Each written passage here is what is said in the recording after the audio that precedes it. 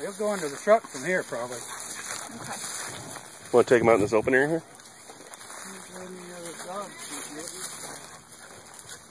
Come on, come on, buddy. Here. Hey, come here. Here. If I don't know what you want to look at, Look at this. if I want to, hey. Oh, that good stuff.